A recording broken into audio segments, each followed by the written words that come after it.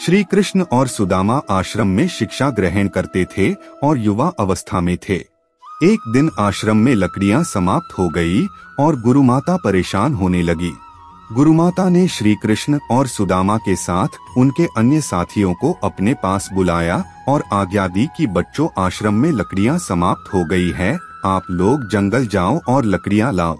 गुरु माता ने उन्हें एक पोटली देकर कहा, अगर भूख लगे तो इसमें से चने निकालकर बराबर बराबर बांट कर खा लेना श्री कृष्ण और सुदामा पोटली लेकर आज्ञा मानकर लकड़ियाँ लेने के लिए जंगल में चले गए।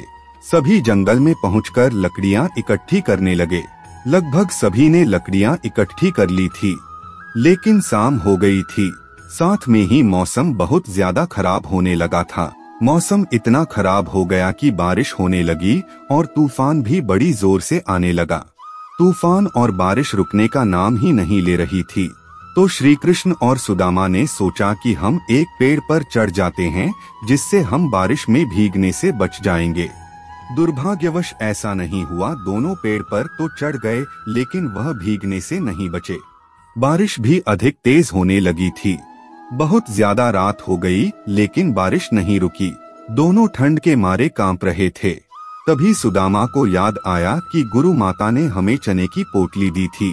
सुदामा ने मन ही मन सोचा कि श्री कृष्ण को याद नहीं है कि गुरु माता ने हमें चनों की पोटली दी है। सुदामा चने चुपके चुपके खा रहे थे। श्री कृष्ण को चनों के चबाने के आवाज़ आ रही थी। तभी कृष्ण जी बोल पड़े अरे सुदामा गुरु माता ने हमें जो चने की पोटली दी है, उसमें से मेरा हिस्सा ला।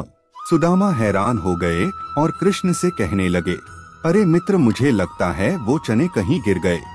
श्री कृष्ण यह सुनते ही चुप हो गए। वह जानते थे कि सुदामा चने खा रहा है, लेकिन उन्होंने सुदामा को कुछ नहीं कहा। लेकिन समय बीतता चला गया और उन्हीं चनों की वजह से सुदामा बहुत ही दरिद्र यानी बहुत गरीब हो गए। शायद वही चने सुदामा की गरीबी का कारण बने। आप क्या मानते हैं? कमेंट ज़रूर बताएँ करें। अगर यह कहानी आपको पसंद आया हो तो चैनल को सब्सक्राइब करके बेल आइकन ज़रूर दबा ले। चलिए मिलते हैं अगली वीडियो में। तब तक के लिए धन्यवाद।